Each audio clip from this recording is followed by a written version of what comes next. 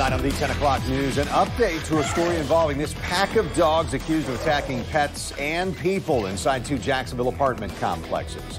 After our story aired last night, Animal Control confiscated two of the dogs. News4JAX reporter Eric Avanier also spoke with the owner.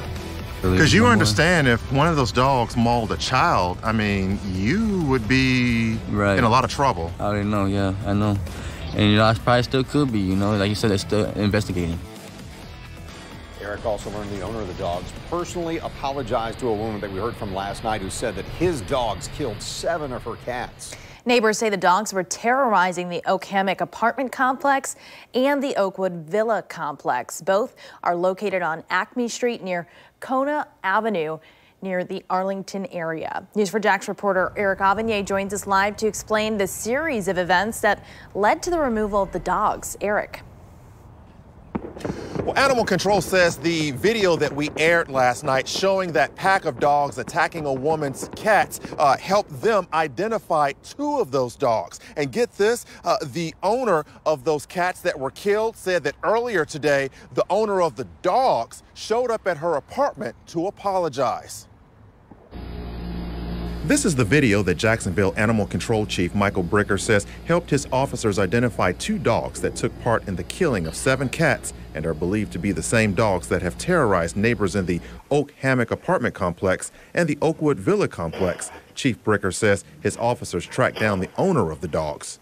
He, he didn't really work with us, but we were able to, to, to work with the owner of the property um, to identify that those two dogs were not dogs that um, the the person that lived at the property wanted to keep any longer, and those were two, the two dogs in question. The dogs came from this house located next door to the Oak Hammock apartment complex. On Thursday, when we first spoke with the residents here and at Oakwood Villa complex across the street, they all said the dogs were terrorizing people and pets. It's, it's, causing problems around here. I'm concerned that they may attack a child. You're looking at an opening where the dogs were able to leave their property and come right onto the property of the apartment complex. And this is another opening in the owner's fence, again, where the dogs were able to just walk right through.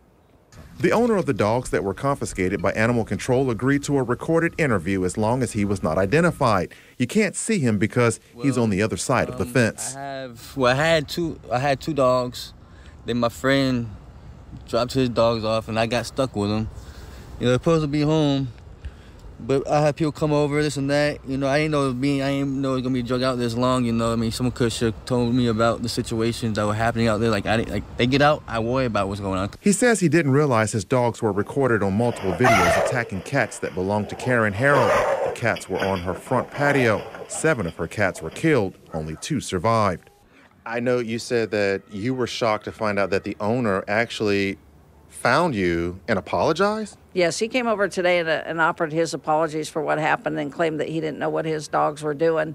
And as I told him, as the apology is really hard for us to accept because of the amount of loss we suffered in such a short amount of time. Although the situation appears to be resolved, Animal Control was not able to remove all the dogs from the property because they said they couldn't positively identify the remaining dogs as the same attack animals in the video. What about your remaining dogs that are here?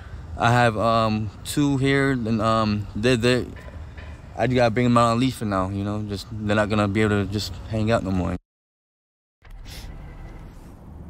Now, Animal Control says this case is still under investigation, which means the owner of those dogs could still face a citation or possibly criminal charges. Reporting live, Eric Avanier, Channel 4, the local station.